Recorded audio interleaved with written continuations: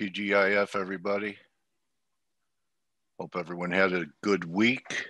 Huh? Everyone have a decent week. Hello, Brock, Sinatra, Rena, Shahab, all my trading warrior brothers and sisters. Kevin, how are you?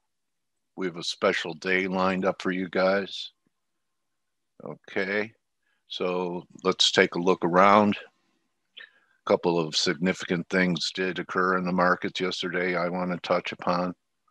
Uh, we could start here with USD Canada. So I had this discussion with Grega and I talked about it yesterday. This uh, falling wedge in USD CAD, and we went right there. Okay, and turn.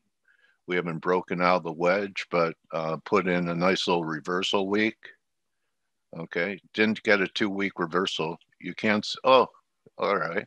About now?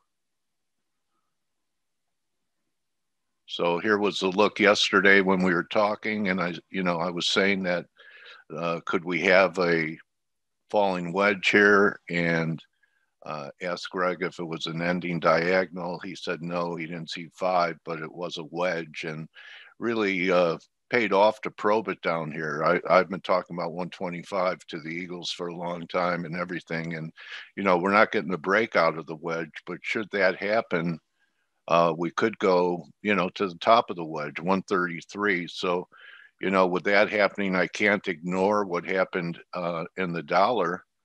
And really interesting how the dollar actually did hold. Yesterday's low was 78.6 from the low we put in uh, back in early January from the 89.20 level. Now you have to say we have a higher low. And we actually got a two week reversal here see the reversal candle and we're above the close from two weeks ago. Um, I, if we get over uh, this level, 9140, 92, I know it still has some work to do, but I still think there's plenty of bears to squeeze. I think it might be invalidated now. I don't know what his invalidation point is but uh, you know, I wouldn't want to be short the bottom. Yeah, I think we have a that's part of this scenario, right? So the other thing I pointed out, and this was my best trade of the week, was uh, the night before last. Remember, I pointed out that my two week off number was uh, 3940, and we got up to 3760 and got some shorts off at 35. Um, it was Wednesday night, and I said I'll give it a couple of days, uh, risking the high and see if it closes over the off number. And that certainly did not happen. Okay, so this was a big trade. I didn't get all 130 uh, handles, but I got a nice piece of it covered right around here. And I know people are thinking this is a double bottom. Uh, I don't think so. In fact, look at the character from this low. We got uh, really an, a pin bar before this rally. Now, what are we doing? We're just consolidating the losses from yesterday. Okay, so that's all we're doing here. Um, and finally, can I say finally? Um, this was a I, I took a loss and then I got back in and making some money on the short side of crude, which ties into you know, some of the, you know, NOK and and definitely CAD. So uh, that's my week. It, it started off pretty lousy because I was early in the pound. But you know what? I just kept firing.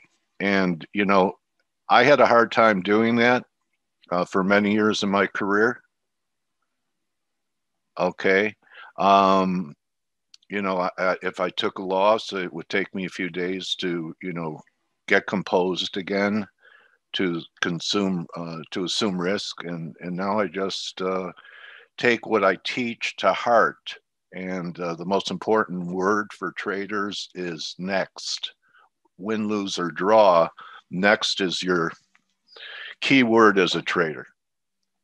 And how to be yeah i like that Sansi.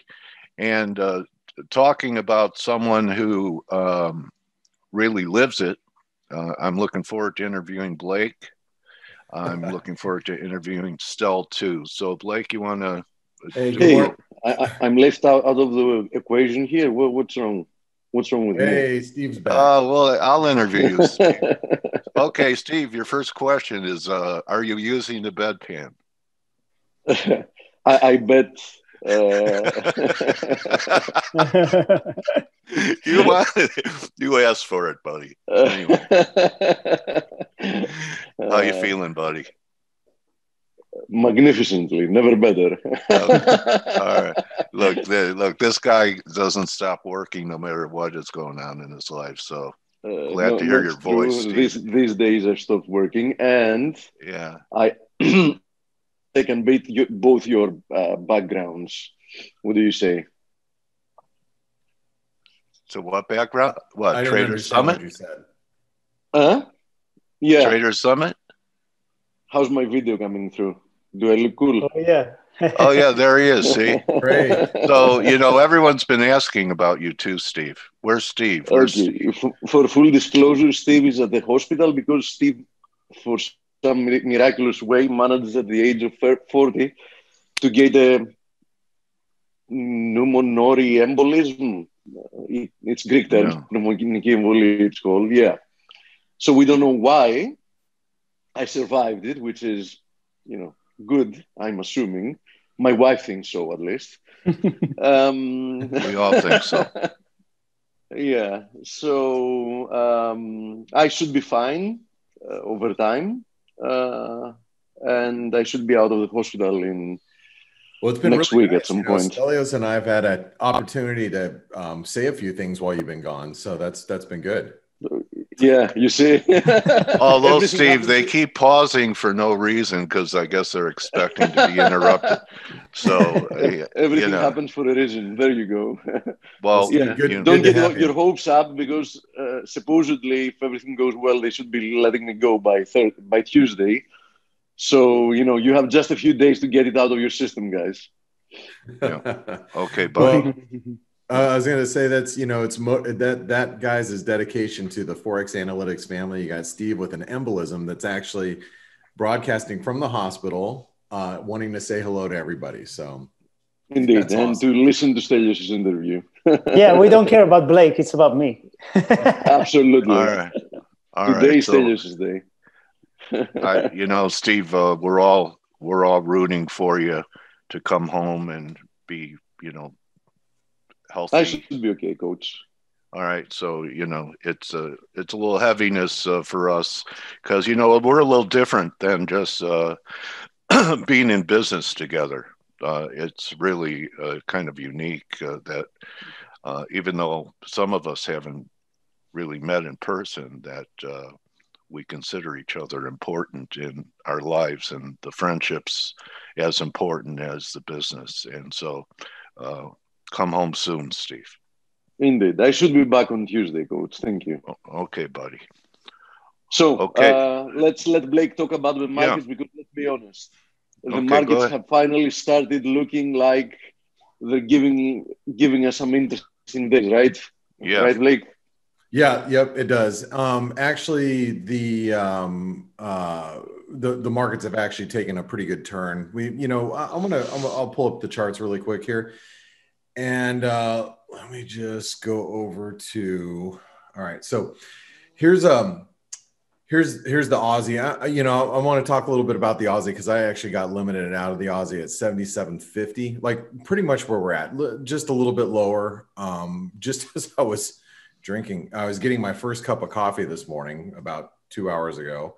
Um, it was right through here, limited out, and then you know we've we've been stabilizing. And just as Dale said, we are stabilizing after a pretty big move. And uh, you know, if you look at the 161% extension of you know the last leg that we had, that's just you know it's we're just finding support here. And and I have a bunch of fib levels here just because it's showing you the extension that we stopped at the 161% extension. I'm going to remove that right now. Okay. Then this was a 200 and, or uh, excuse me, that's this is the pullback. So you can see the pullback now is is at the 618 retracement which comes in around 7740 my opinion is we're probably going to stabilize somewhere around here. Um, you know, are we going to um, are we going to go you know further lower? I I do think so. I actually think that the the Aussie has actually turned, but remember we have a few things ahead of us right now. Like we have the stimulus package that might get passed over the weekend. Um, you know, you might get some buying and buyers stepping in ahead of that. That's just something to be thinking about going into, um, you know, the next, you know, 24, 48 hours. And we've had, we've had re- a really big move. I mean, if, if you look at like some of these cross rates, like the Euro Aussie, I mean, that is a, that's a 400 pip move uh, right into previous support, acting as current resistance and you know you had the s&ps that came down right to we're, we're actually right at ascending wedge support. So the you know just a lot of lot of lot of levels to be really careful at. And you know i i do think that you know copper is pulling back. It and and by the way i don't need to go too far into um i don't i don't have to go too far into uh uh the analysis because just about 12 hours ago, I was uh, chatting with Pepperstone Securities, Chris Weston. Um, did you guys see that video? Um, did, did you guys, uh, you guys at home, did you guys get an opportunity to see that video? Uh, he, it was posted. I, I tweeted it this morning. Where's the damn chat box? Hold on. Let me see if for some reason I can't find my chat box. Stand by. I have no idea where it's at. I don't know how to use the Zoom thing, but anyway. They can also find it on our YouTube channel very easily. Oh, okay. So we, we well wherever it's at. You guys, I, I mean, I literally just filmed that. I filmed it, had dinner with the family, uh, went to sleep, and it was it was out. You know, a couple hours later, he had it, it, their editors put it together. So it was pretty nice. Anyway, um, that gives you a pretty good overview of how I feel about the market. So if you want to really get, you know, dive deep into it, there, that's that. Um, but today we have a really interesting interview with Stelios, and and and I don't want to take away from that, but I do want to give you guys.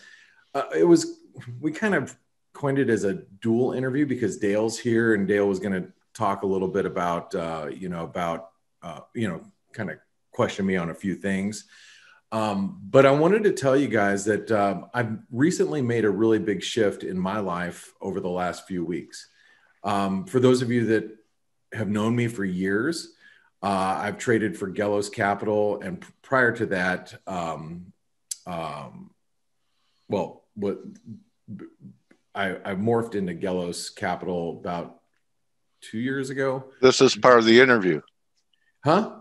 This is part of the interview. Oh yeah, this is part of the interview. Oh well, yeah, you're you're interviewing anyway. Anyway, but um, all right, you could but, just talk. But I wanted then. to, I want to kind of give everybody, you know, an update on um, what I've been doing for the last several years. So for the last several years, I got recruited to trade for a firm out of Florida, and um, and uh, you know, we we interviewed uh, Ronnie Schlapfer, who who had his, uh, you know, he was on the BBC, um, uh, the the um, billion dollar day if you ever saw that video we interviewed him he was he's the one that found me and uh, i traded for basically their group for the last four and a half five years and um, over the last was i guess three weeks ago three weeks ago or so uh, i officially ended my time with Gelos. Well, we did. It was more of a it was more of a mutual thing and um, there's a bunch of reasons for it and i'm gonna i'm gonna talk about it f-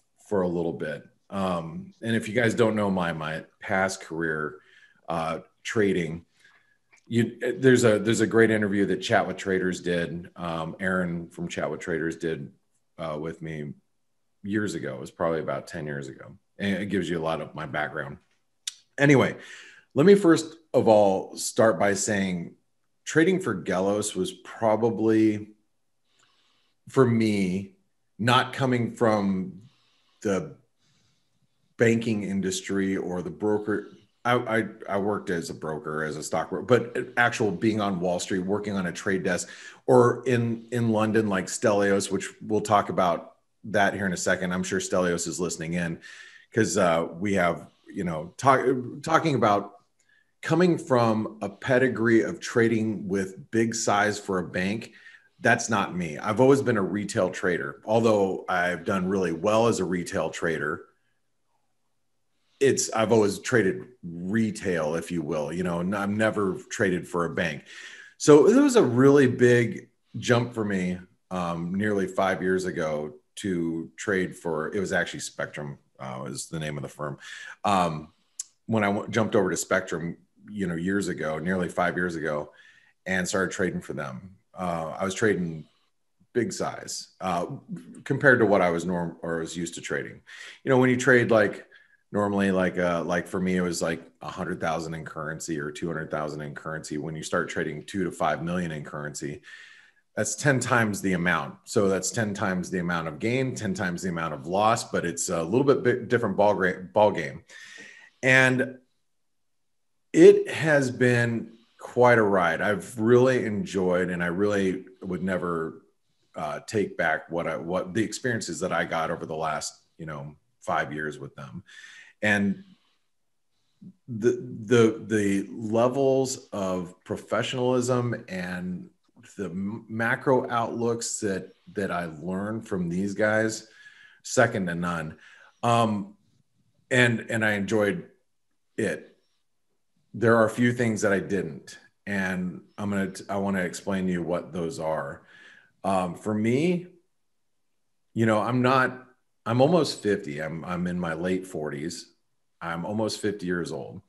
I spent the last five years not sleeping a full night ever ever I mean, you know, minus a Saturday or Sunday, I might have squeezed in a five or six hour sleep at night. But for the last five years, I've literally slept three hours, get up for an hour, or get up, look at quotes, go back to sleep for another hour, get up, look at quotes, get up, and then six hours passed, I get up and I start working again. And then I'm in front of my computer literally for the next 15 to 16 hours. You know, some people have a easier time, I guess, trading. Uh, and and I'm uh, basically what I was doing is is is like trading for a, a trading prop proprietary, right? But it's not trading for a prop firm because when you trade for a prop firm, you're trading for a firm, and you know it's like a you know maybe maybe a group of investors or something. You don't even know who they are. You know, you're you're trading proprietary, and you're and and at that point in time, you're just like, oh screw it. It ain't my money. I'm just gonna you know i'm just trading. You know i don't care you know if i make or lose money i'm you know i'm just gonna go for it. But when you actually trade for somebody that you know and you really really like them and you're you truly care about them you meet their family you know you know everything about them well it's a different it's a different ball game you know if I, Stelios could probably confirm this. You know, you trade for a bank, and we were talking about, you know, what, what's a what's a what's a what's a good day, and I'll I'll just kind of take the words out of his mouth and put them out there for you. You know, we were having this discussion. He's like, yeah, if I if I, you know, was it a million dollars, Stel? So a good day. Basically, yeah, good day or bad day. Well, basically, anything less than a hundred thousand is noise, and uh, you know, a good day would be yeah, between half million and one million. Yeah. Okay, and that you know that's trading for a bank. Look, if I traded for a bank and the numbers really didn't matter, and it's like it's the bank for crying out loud, I would be just balls to the wall. I don't care, right? But when you're trading somebody for somebody you know, man, it's different. It's like for me, it was like trading my grandma's money or something. You know, I, although I don't, my grandma's both have passed away, but it was it'd be, it'd be something like that, like like uh, you know I lose 20 grand. I'm like, oh my God, I just lost them $20,000. It is know, a different feel. I mean, it, if you've been a money manager, that people feel the same way. It's easier to take losses with your own money than others, um, especially if you, you know, you have uh, some type of moral compass. I mean, some people it doesn't bother at all. I, yeah, I guess for some people know. it doesn't matter, but for me, yeah. it, it, matters. And and and like I, I I was saying, the guys at Gelos, I mean, they are the they're your friends. Most, most down to earth. You know, you, you can you see you may see them on their social media platforms and think whoever, you know, and whatever you want about whoever they are. because I'm not going to get into specifics, but they are really probably the best, most savvy traders you're ever going to come across, you know, ever. And so I enjoyed, really enjoyed my time with them. But like I said, I haven't, I haven't, I didn't sleep for years. I mean, year, years. And my wife, um, when um, a few weeks ago, when I, you know, we'd been talking about it, like, because last year, if you guys re- recall, like the week ahead videos, um, you know, towards the end of last year, you probably heard me say, you know, 2020 was trash. I mean, other than the the COVID spike, yeah, I made some money in the COVID spike, and then I spent the rest of 2020 just giving it back. And I and my 2020 was just spinning my wheels, like, and then spending because the Bloomberg costs would come out of my costs, you know, spending, you know, $2,700 a month on Bloomberg. It's like, it's like for what? You know, I spent a whole year spinning my wheels for what? And losing sleep. And I mean, I was lashing out at my kids, lashing out at my wife, uh, although she lashes back. Um, you know, just what, and, and my health you know i'm like i said i'm nearing 50 years old and when uh, my wife and i we we discussed this uh, the the last actually you know since the beginning of 2021 um, she's like blake that's the best thing that could happen to you health wise and you know she's like you know your your family needs you you know forget the money and you know when when it's even when it's great when you're when you're in in the first few years because volatility was so high. I mean, crushed it. But I still didn't sleep. And I still, I mean, I, I would I would be out, you know, at seven o'clock at night just yawning, you know, every night. It is brutal. And it it is it, it was extremely brutal. So for me, like, you know, I just had a great couple of days in in FX the last few days. being being short Aussies, long euro sterling, long uh, U.S. dollar Norwegian krona, U.S. dollar Mexican peso, and guess what? I didn't have to. There's your confirmation. What's that? There's your confirmation. Yeah, and get and guess guess what else? I slept. I've been sleeping for the last three weeks. I mean, granted, I can't sleep much longer than you know seven hours, but I sleep a full night. I don't worry about it. I don't I don't get up every moment. And you know, if I ever wanted to trade size, I think I would actually go to a real prop trading firm. This way I don't know who's involved. And then I could really just go for it. You know what I mean? But the the the you know, after talking it through with the guys at Gelos, it's like, you know, what why don't I just make it all and you know I don't have to cut up the profits and you know and we left on really good terms and I, I have nothing but the most awesome things to say about that group. You know because it's it's a it's a select group of guys you know they handpicked their people that are with them and you know it was a it was a good run and you know i think it was just this last year of very low volatility and just spinning my wheels and you know I had to look around and go, you know, life life is gone before you know it, and I didn't want to spend any more time in my life with the stress. It's just not worth it to me.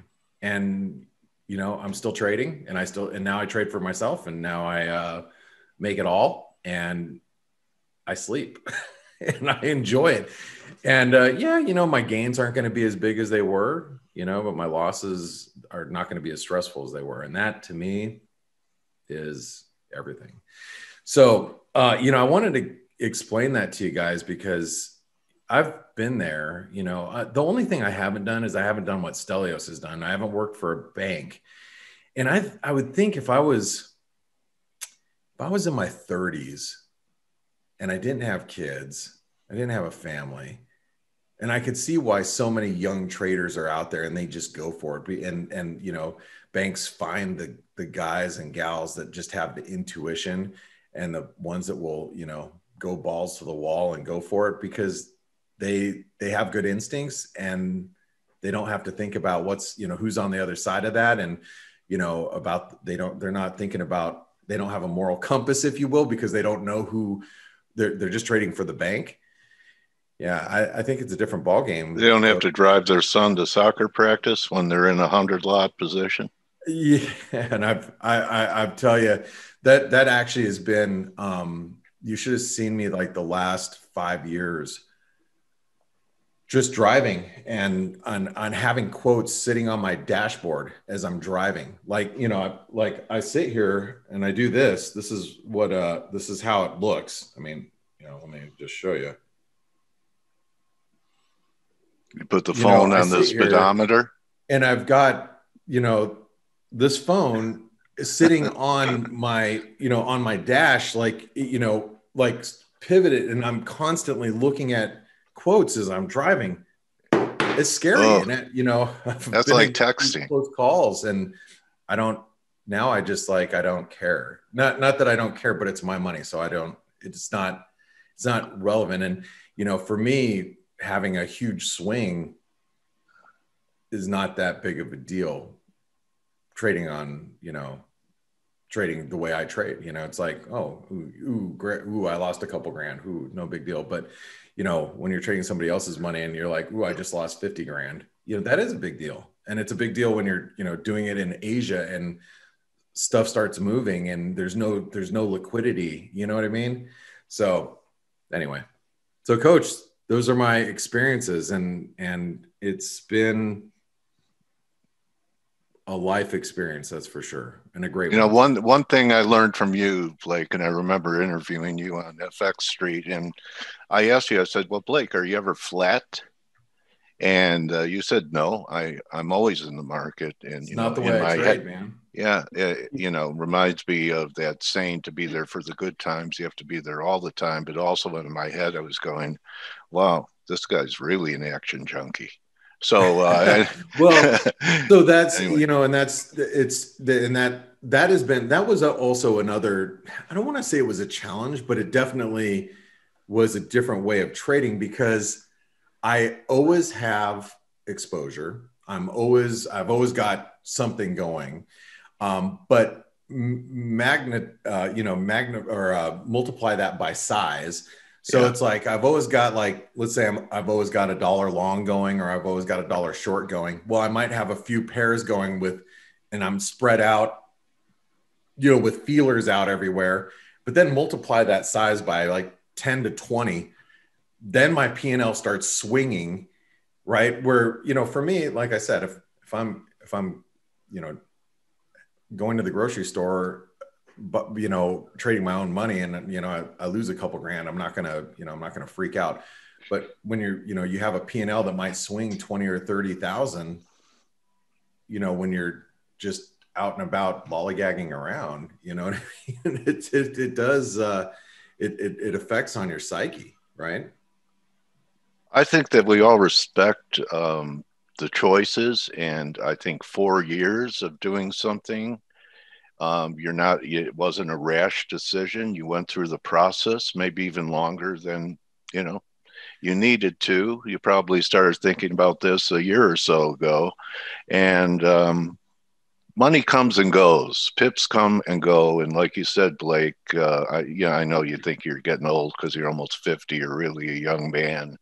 Uh, but time has gone forever um, to make it count. It's really our most valuable currency. And I saw one uh, someone mention that, um, you know, you're you're a family man, and uh, I, I, know that was probably tearing at you not to be able to give your family as much attention because you're always looking at your positions. And uh, you know, I congratulate people that go for the quality of life instead of uh, just accumulating material wealth and that's that that you know it's it's interesting you say that dale. As you get older um and you know like you know i i'd like to believe i've got plenty years ahead of me.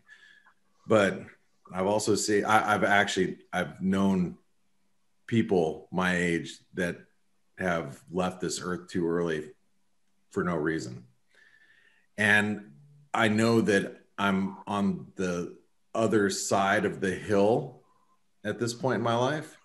Um, probably based on my earlier years of lifestyle. So I don't, I don't plan, I don't think I'm going to make it to 100 because I don't live a lifestyle like Steve does, where he only eats grapes and doesn't drink alcohol.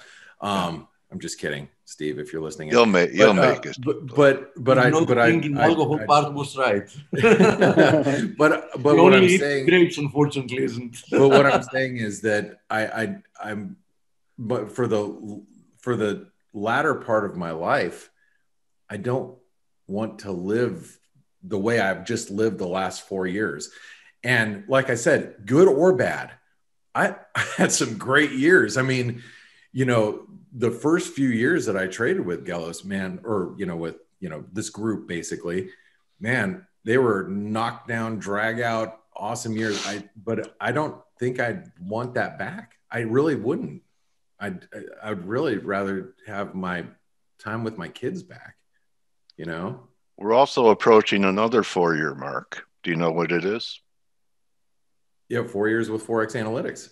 Yeah, and face. Okay, so yeah. four years, uh, and uh, you know, we're glad that uh, I, you know, you can pour your heart out into this, and it doesn't stress you out like you used. You know, and uh, and and uh, and, i and I'm gonna I'm gonna tell you from a ForexAnalytix standpoint. then I want to turn it over to Stelios. Um, there are a lot of projects that I've put on the back burner with ForexAnalytix uh, for years.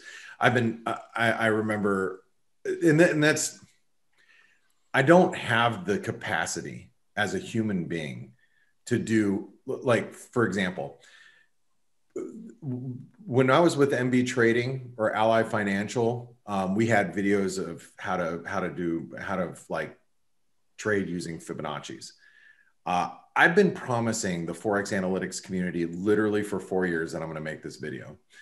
Um, and I and and and by the way, I'm I'm, I'm putting together the PowerPoint now, just so you guys know.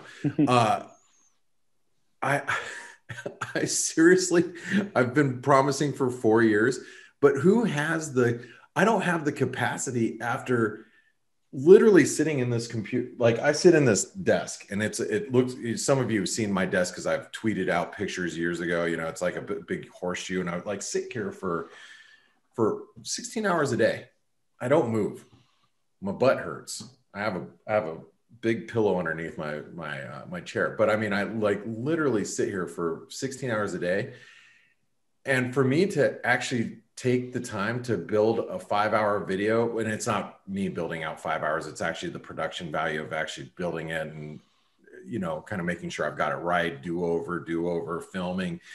To do that on a weekend or after sitting around for 15 hours, 16 hours of trading and then trying to be a husband and dad and eat and, you know, sleep it's just been impossible. So there's like a lot of little things like that with ForexAnalytix I've been planning to do, but now I will do. I've got time to do it and I feel good. It's like, and I can actually, like, I can actually film a video right now. Like, if it were me just trading, like, you know, in the North American session, uh, and it's you know Europe goes home, and I and I'm sitting here. I spend the next four hours just filming a video, and my P and L goes up and down. You know, a few grand. It doesn't bother me.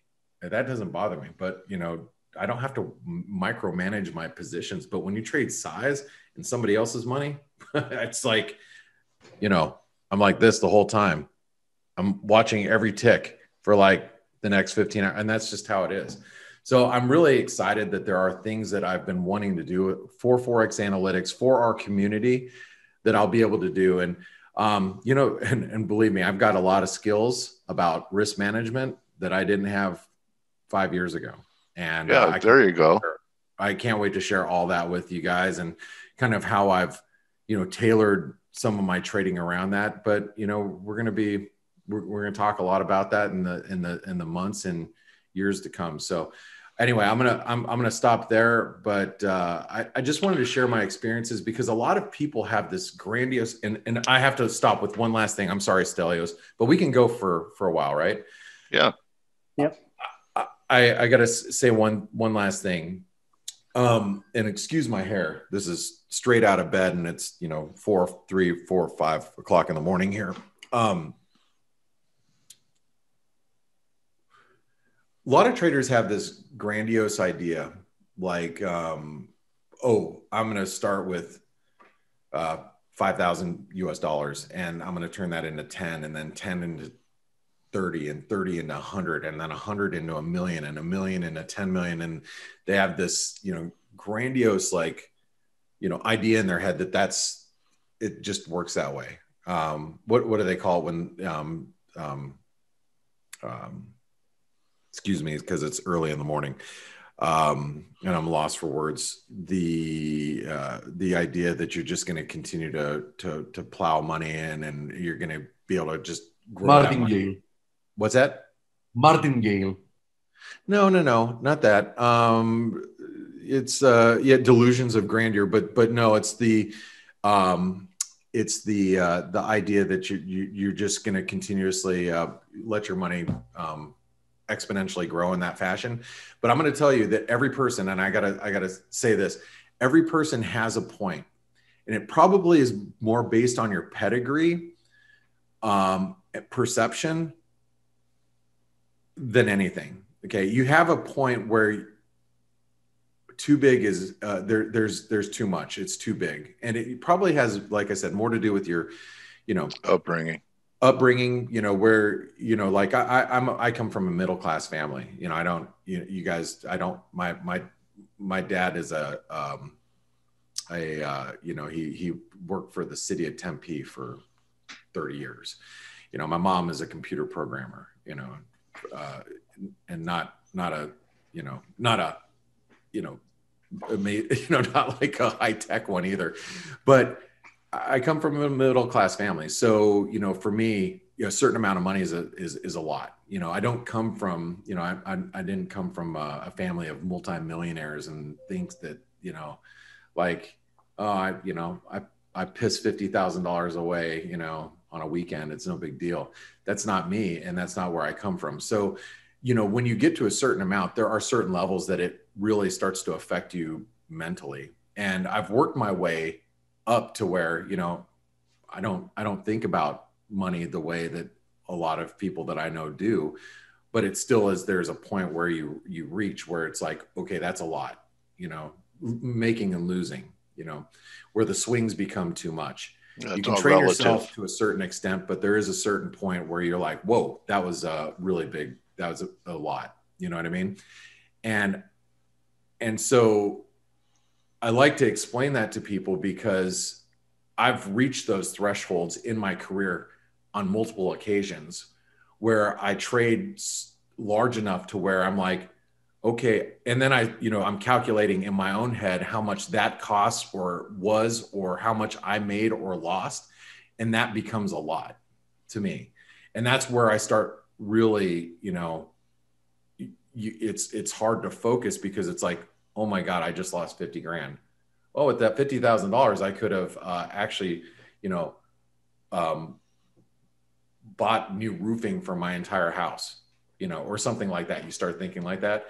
But there are there are limitations to most people. And that's why you know those you know you have to you have to be at points where you you know where your limits are at and know how to pare back and you know take profits off and you know pull profits out of your account. But those are all you know conversations that we'll have in the next you know six months to year. But I, but it is it is important to understand that because i think everybody does have different thresholds based on your upbringing and where you came from and your pedigree. So with that being said the star of the show will be actually stelios because not sure be- about that.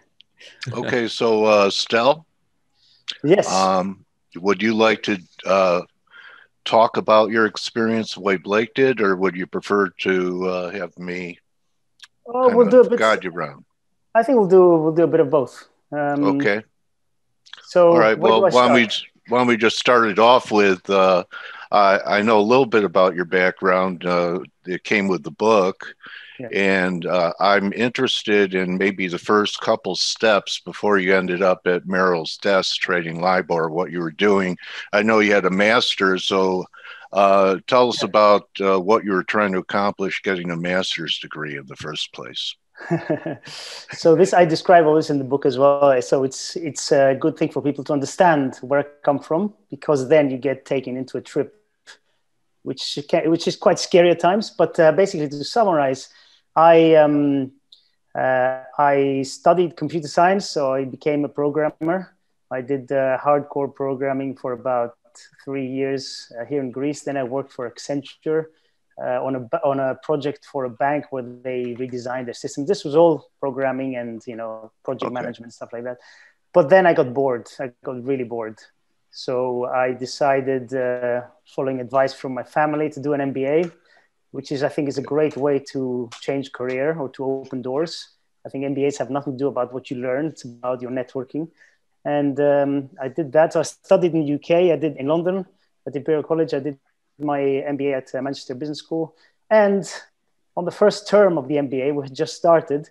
Um, it was this was in 2000, so this was the good days, and uh, we had consultancies, banks, everybody coming to our, the campus and giving presentations. And this guy, one of the first presentations, there was this relatively boring guy talking about banking, and uh, then I realized he's a trader, and he starts talking about what he does on a day-to-day basis, and I was just hooked. So this was a guy from Barclays, and um, I applied for an internship, uh, summer internship uh, at Barclays and to a few other banks. Barclays, um, they did this amazing um, three-day weekend where they took you to their headquarters in Canary Wharf. They actually selected people. You know, you did these tests and mathematics tests and English and interviews, and then they pick 200 people out of the I don't know how many thousands applied and they take them for a three day weekend and they do these games and uh, and uh, tests and stuff. It was really really amazing. I mean, really well organized. And you play these games and you don't realize it, but you get being you being watched and you're being um, assessed. Right. And uh, I was lucky enough. They picked in the end, I think, 40 people to do an internship, and I was uh, lucky enough to do well on that uh, that three day weekend, and they, they picked me. So what was the internship I, like? Uh, what did what were your uh, what did they teach you? What were your duties as an intern? At yes, well, uh, that's the thing. I got I went into the internship. It was twelve week internship, and uh, I I got in thinking, okay, I have to learn things. I have to do this and that. And really, at the end of the internship, when I or near the end, when I asked one of the managers, I said, you know, what are you looking for in a guy that you want to hire? He turned around to me and he goes, we're looking for people who are not assholes. I'm like, what the hell? But um, seriously, no, they, they, the whole point of the internship is to, is to, see how you interact, how you assimilate new information. Because let's not forget, I was an IT man. I was, I had traded as a, as a average Joe, you know, retail trader. I had done some trading here in Greece, but really nothing compared to being a professional trader or, or trading full time. So I wasn't expected to know about trading and finance and everything, but they were they gave me this project which was about the um, the gilt basis. So this is a a, a complex, pro- relatively complex project product that that's traded.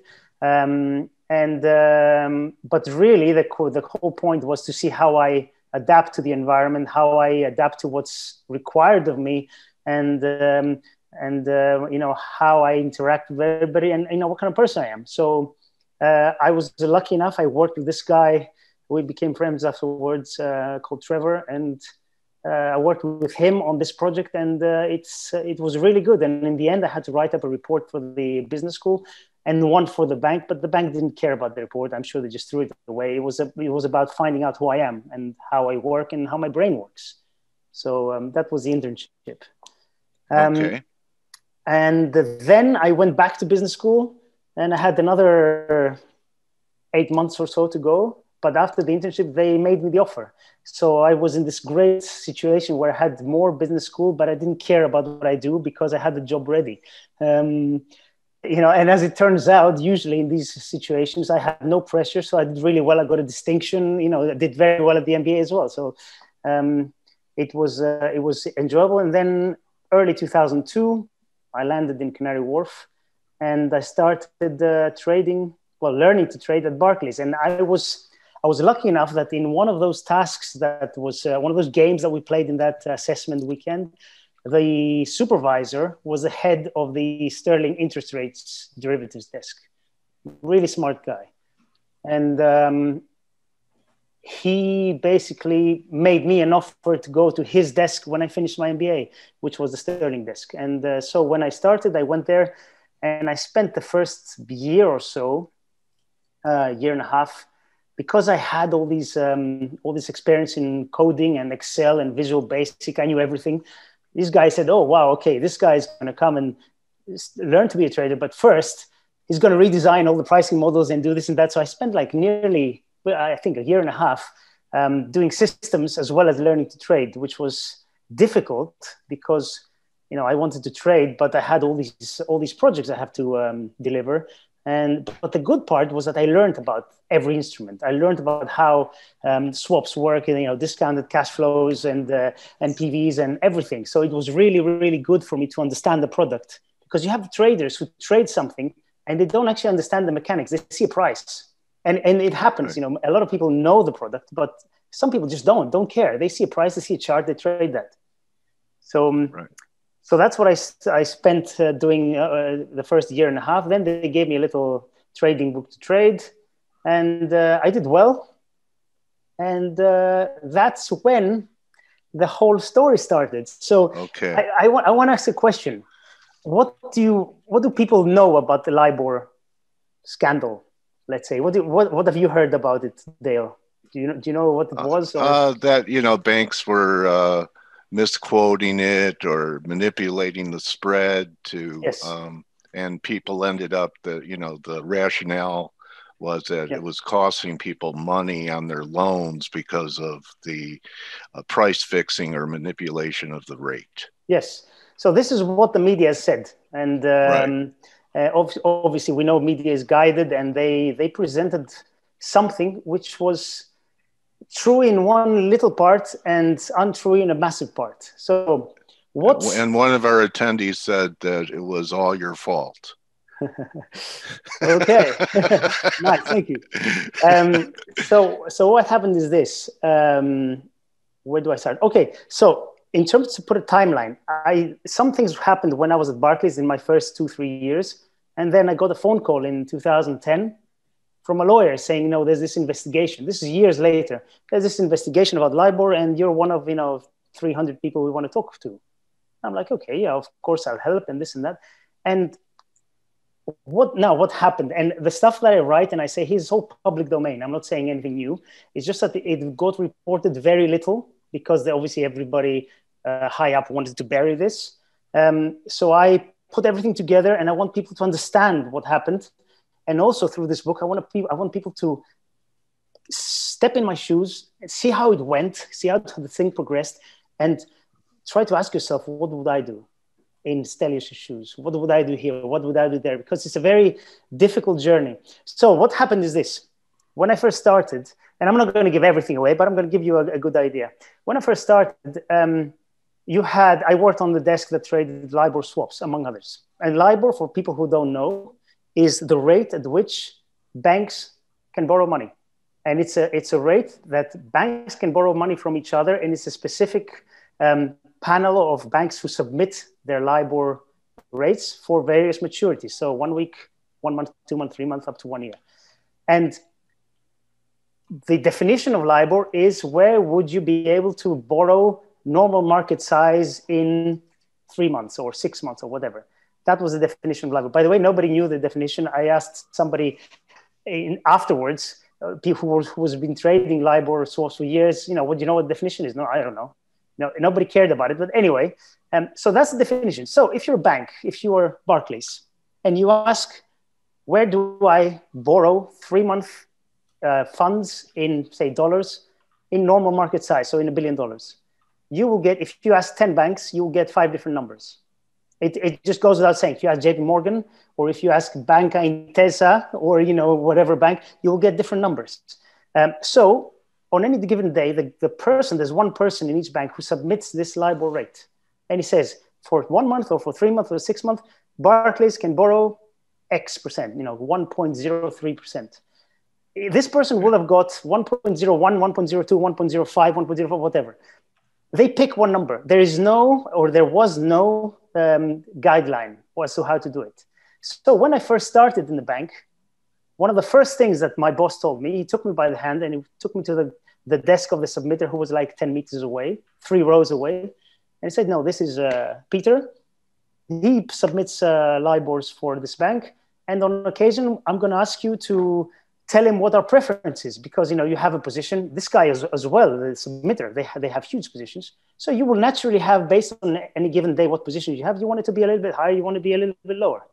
Uh, my boss told me that because he, at the time he was in new york. I was in london and libor sets at 11 a.m london time. So new york guys are asleep at the time.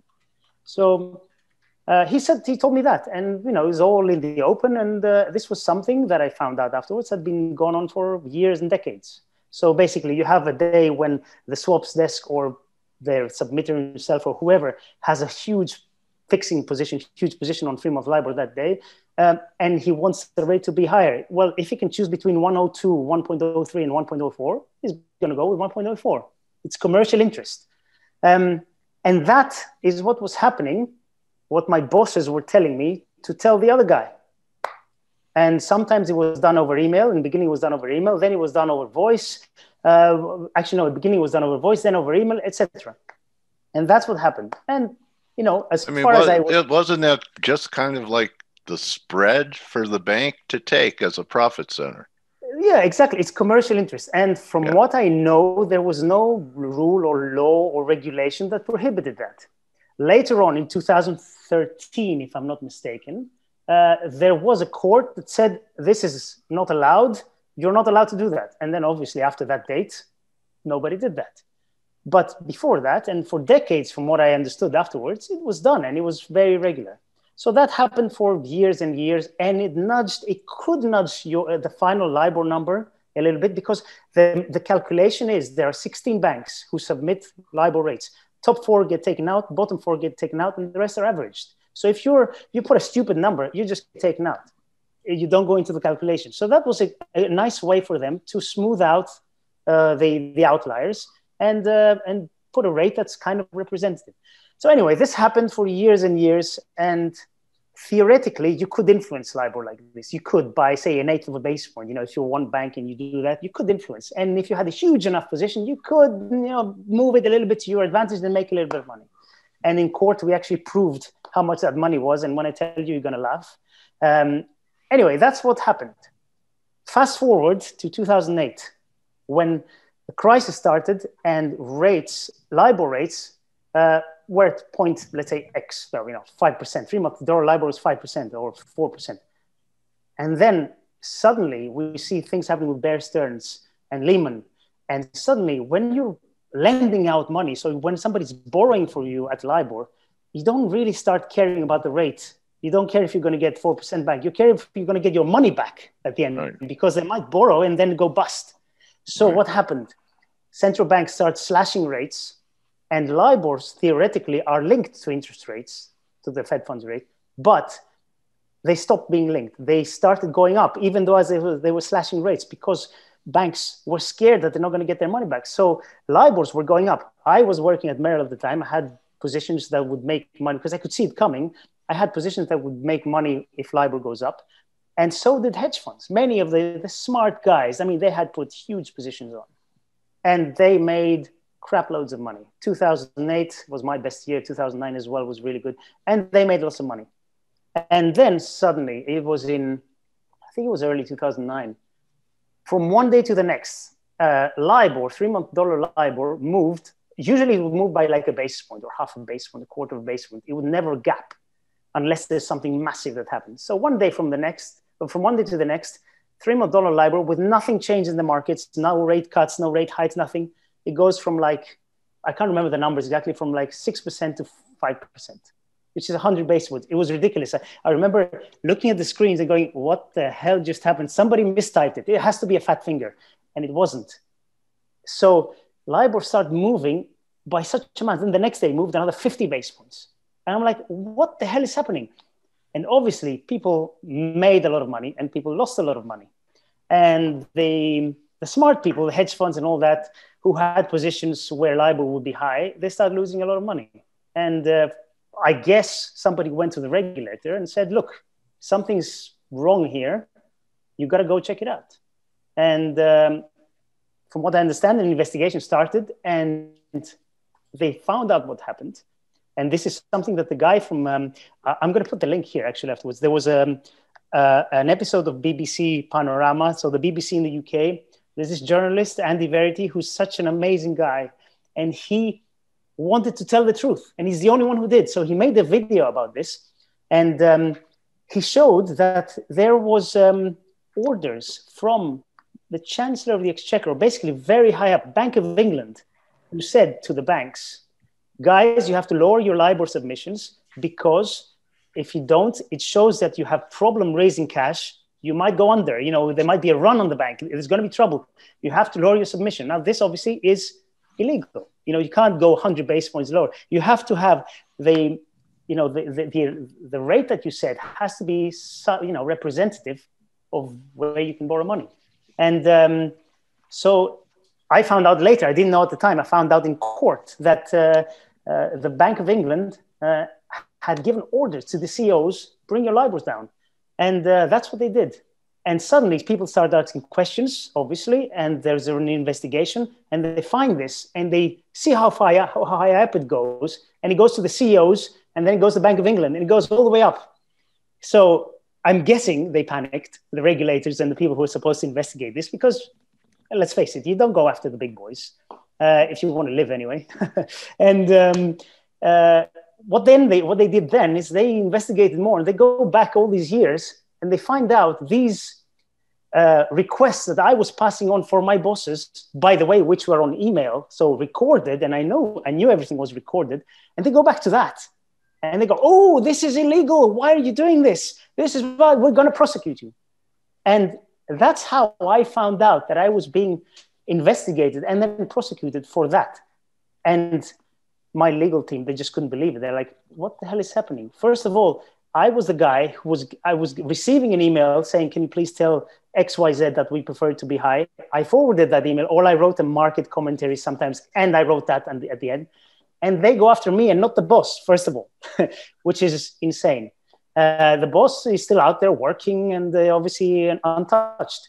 Um, so they go after me and people of my level, you know, mostly juniors. And uh, if remember, this was my first trading job. I was an associate. You know, you start as at the at the very bottom, um, and that's what happened. And then starts a six and a half legal process, which six and a half is years. something that can six and a half. Sorry, what did I say? Yeah, six, six and a half. Yeah.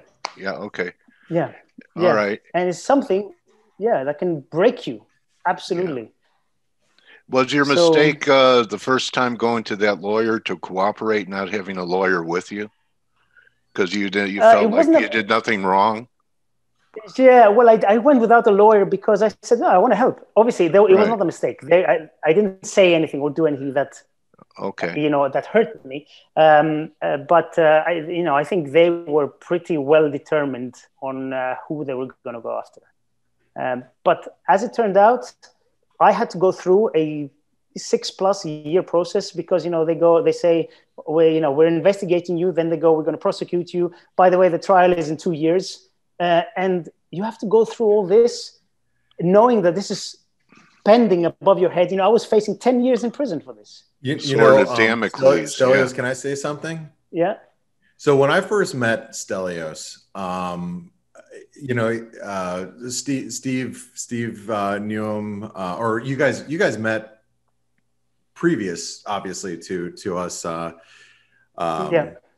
Starting ForexAnalytix, and and and I was just putting together the ideas, and I was still trading for um, for uh, you know, or working for uh, MB Trade. Wise, wise trade, wise trade.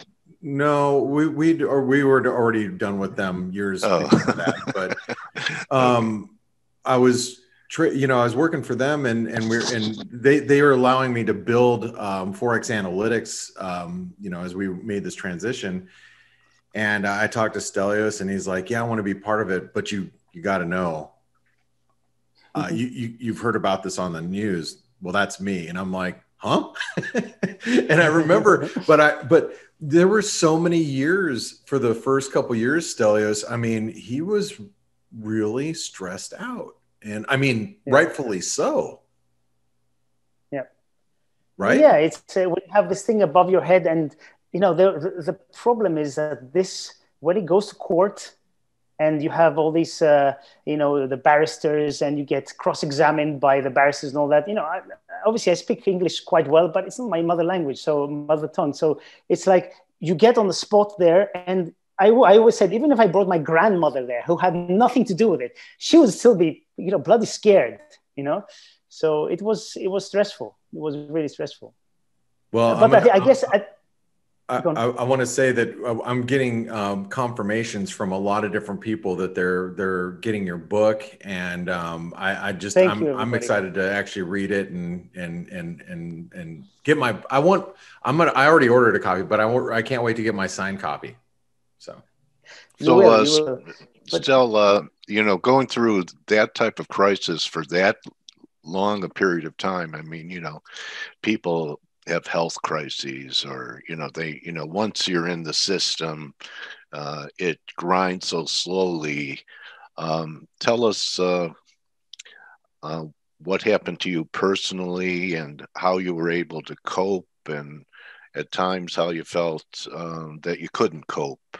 And and uh, you know uh, uh, we met you while you were still going through this and i had no idea because of the way you you know comport yourself with others and so i, I know that um, you know it's not in a just a it's not just a legal thing it's a you talk about six and a half years it's like um, um, you were in a war i mean do you have any uh, yeah. ptsd from that and uh, worry about the fact that you know I you know a lot of people that have had trouble with regulators give up every license possible, uh, like me.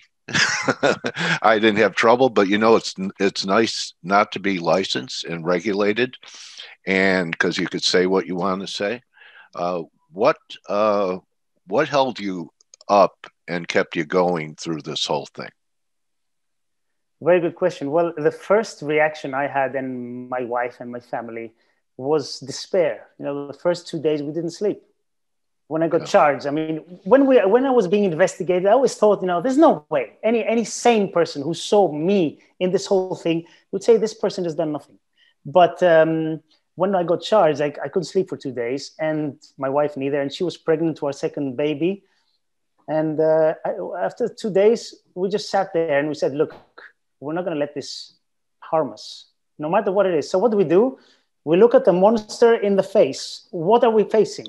You know 10 years in prison. Okay which means that you deserve the ha- half of it and it's not going to be the maximum. So so basically we we we agreed that it's going to be 2 years if i get convicted for whatever reason. So then you start from there and you go okay this is the worst case scenario. Um, if that happens then she said i'm going to take the kids and you know my brother lives in london so we'll come to uk i'll work from there we'll figure it out. And suddenly when you do that things look a little bit easier. Obviously you don't want to spend a single day in jail right? Yeah right. But when you do that, suddenly a lot of the weight comes off. And then the biggest help for me was the, the your family. my family, yeah. My wife was solid as a rock. My wow. parents, my brother, my friends. A lot of my friends, um, uh, they just uh, deserted me. You know, they just stopped uh, having contact with me, even though they kind of knew the story. Others didn't, and they they, they stopped um, contact anyway. So, so you found out who to... your you found out who your true friends were of course of course. Yeah. so that's um, uh, you know that's what i did. And it's something that i try to put across in the book. The book is not just about oh what's LIBOR what was happening what was right what was wrong. It's about the whole journey. So i try to to show that as well because i think my experience could help others. I, I hope nobody because you know nobody goes into my situation because it was really difficult at times. But uh, you know if you take things one step one task at a time one day at a time you will get there. You will get there. And obviously it's difficult if you know you've done nothing wrong. It's very difficult to keep fighting and to, to you know have the energy and yes you know i'm gonna try more. And trust me i had how many hours of uh, meeting with my lawyers and this and that and they were trying to explain to me all the legal implications and this if you do that. And i don't understand many of them. Uh, but still i had to make decisions we together had to make decisions on how to how to overcome and i have to say at this point i always thought lawyers were overpaid my lead barrister got paid ridiculous amounts of money and i think i think he deserved every penny um wow. anyway all right. So um, yeah, it's. Uh, all right. So uh, you knew that uh, you know you were probably what kryptonite in the banking industry to find uh, new employment, and you know you talk about yeah. what you had to pay in legal fees. So you you still needed to um, work and support your family through these times. Uh, what kind? What was that like, Stell? Having to almost like reinvent yourself from a bank trader to um, you know just uh, becoming an entrepreneur uh, were you yeah. employed at the time or did you have to uh, you know forced into being a self-employed guy after that well first of all I, w- I want to show this we all, all dream about being on the headlines right i want to be yeah. famous well this is this is the other guy this is me but anyway um, uh, to answer your question unfortunately even though i got cleared you know, it was a 12 week trial and the verdict came within over an hour, which is ridiculous. Um, even though I was cleared completely, and I still have, and I had, and I have um, lots of friends in the industry and who worked at banks, and uh, you know, I know a lot of people. Uh, everybody said to me, "Look, there's no way anybody's going to hire you. You're tainted now.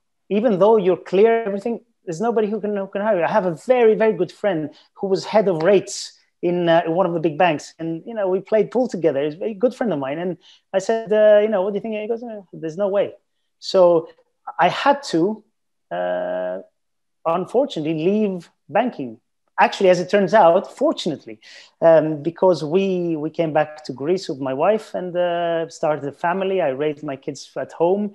My wife works, and um, I was lucky enough that I come from a family which is uh, my father was a banker on the retail side, and we're you know we, he's uh, he's not poor. Let's put it that way. He has some assets and he has some funds that I trade for him. So I got back into trading, trading the family money, and um, in parallel. After meeting Steve and then meeting Blake, we started uh, ForexAnalytix. Actually, we I was working on ForexAnalytix before the site went up and before we were ready um, uh, through the trial. So I was I would go to the I would go to the um, uh, courthouse at uh, nine o'clock, leave at uh, four thirty, go uh, go at home at five, and work until midnight on ForexAnalytix. And it actually kept me busy, kept me sane. It was actually a really good thing. And um, so I had to make a, a, a change in my career.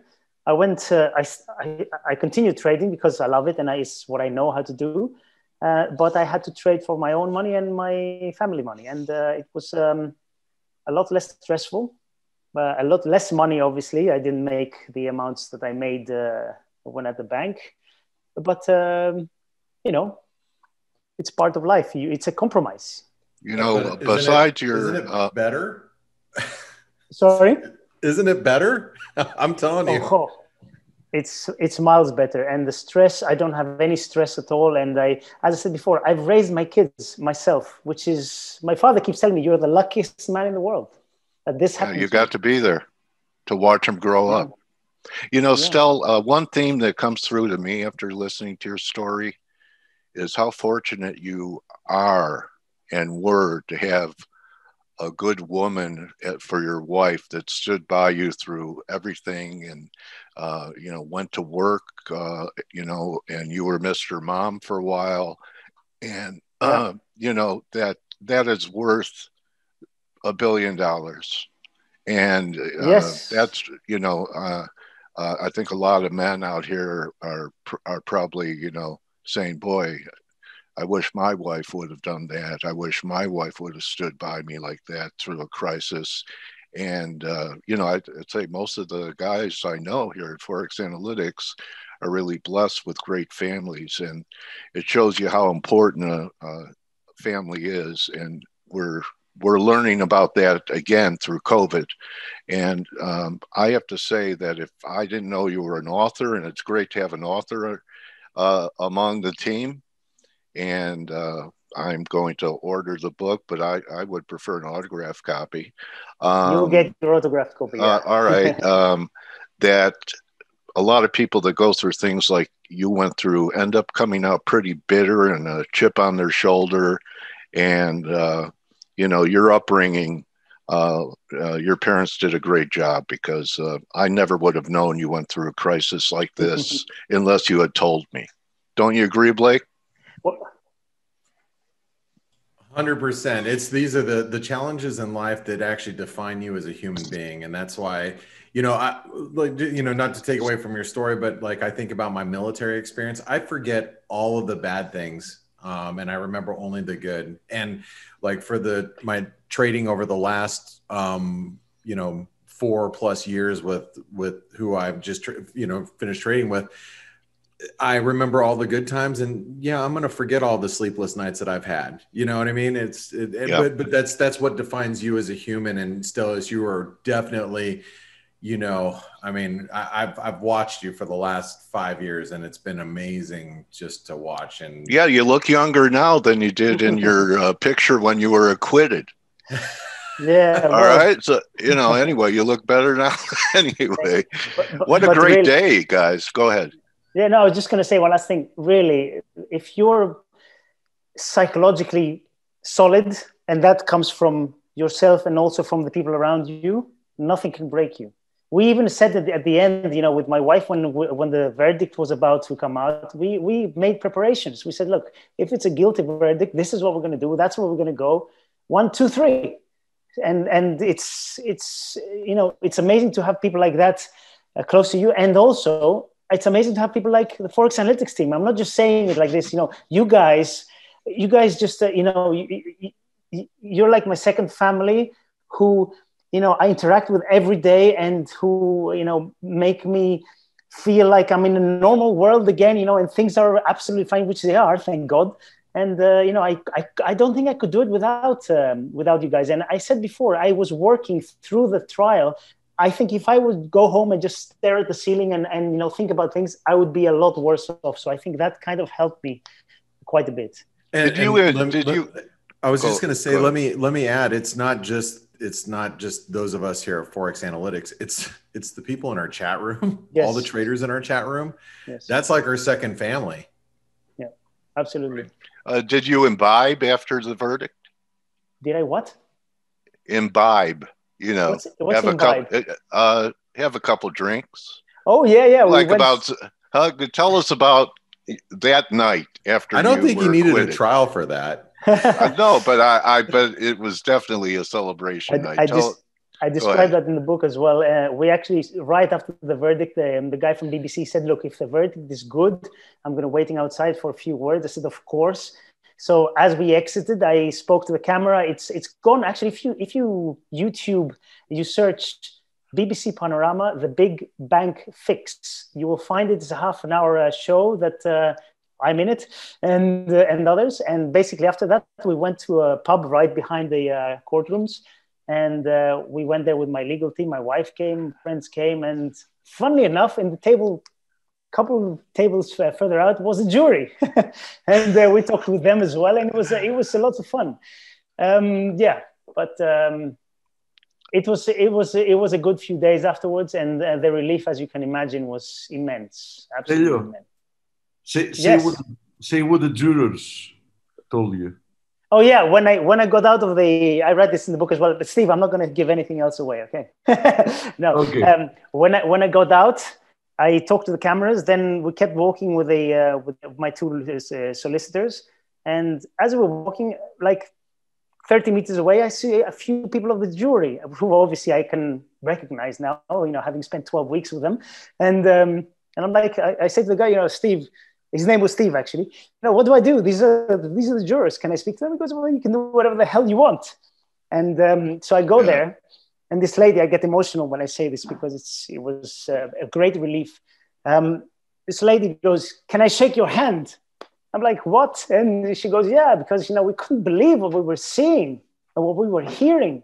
That they were accusing you of doing, and it's clear that you had nothing to do with it. And you know there was all these other things happening, and you know the the other thing which was crazy is that my my barristers they asked the prosecution, okay, of course you're doing this um, this uh, trial now. What about these people who were who dropped LIBOR by 100 basis points? This was called lowballing. So this was the main the main issue. They they went after us to cover up the lowballing. That's what happened. So we, the question was, what about those guys? And the, the, answer was, oh, don't worry, we're prosecuting these guys now. We're going to go after lowballing afterwards. And of course, in 2018, they never did. Oh, in 2018, they announced, oh, this is the end of the LIBOR um, investigation, yeah. and we're not going to do anything else. Yeah. Which is uh, it's nuts. It just shows the power of the banks. The banks control everything, everything. Media, politicians, uh, uh, power of money, everything. Unfortunately, yeah. unfortunately, but that's how it is what a what a great story, sell, and uh, I hope you sell a million of these. Blake, um, you know, we all love you, and we're glad that you're sleeping. Yes, you know, I'm, I'm I, okay, I, I, and, and just so you guys know, I've read all the comments from everybody that's come in, and uh, most people are just like, Blake, it's great decision, and you know, glad to have you back.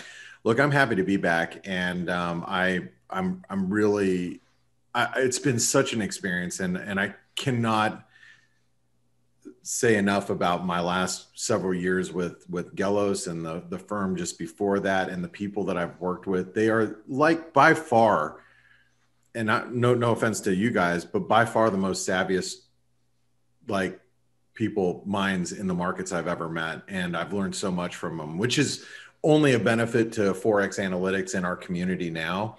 What I've learned, and I've always I've always come to this game thinking I'm going to learn something new every day. But with them, it was like I, I jump leaps and bounds to see what happens in the markets from from different players and how they they they look at things. And and it it, it is very eye opening and it's been great. And I'm just happy to be able to share that experience with the ForexAnalytix community now.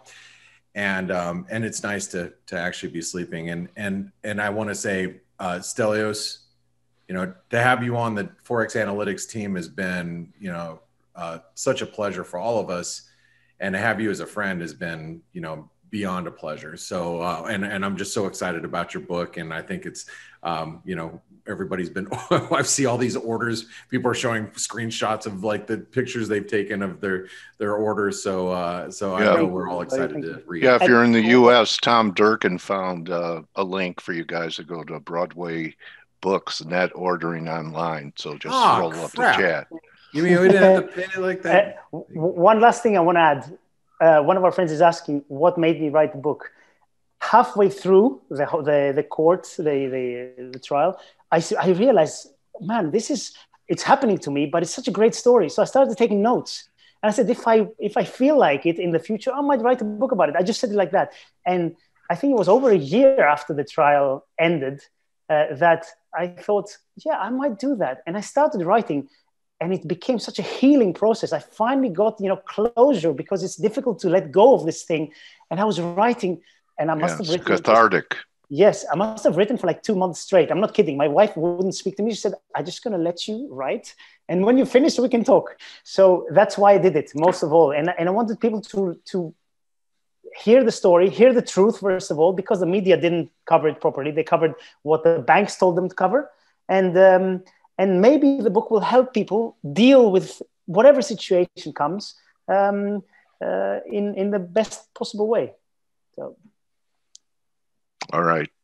What a great uh, way to wrap up the week with uh, an author and uh, a, a trade author slash trader and a trader slash life coach, Blake Morrow. And we got to hear from Steve, and everyone keeps Steve in your thoughts and prayers. Uh, so we could have him back uh, to interrupt us uh, during the sessions. And you know, I know you guys miss his review of the markets, and uh, you know he's he's great, uh, disciplined technician, uh, trader. And um, I tell you what, going into year four with you guys, it's the best project I've ever been part of. So, um, well, we're happy to have you here, Dale, with us. So, yeah. thank you so much for for the interview today. Thank you. Okay, good good job, guys. Hey, everyone, have a great weekend. uh, get prepared with the, uh, you know, looking at the week ahead. It's a great day to subscribe, at least for a trial. And it gives you the weekend to navigate around the site. And uh, you could tell that we wear our hearts on our sleeves because we care about people and we care about what happens to you every day in the markets. And we're doing our best to help you avoid stepping on landmines and trying to point your eye towards opportunities that uh, look compelling to us. So, with that being said, and I know that the guys here live it, don't just count your pips, count your blessings. Have a great weekend, everybody. And we'll all see you on Monday. Adios. Thank you, Dale. Thank you, everybody. Thank you, Stealth. Thank you, Blake. Thanks, everybody. Thank you, Steve. Adios.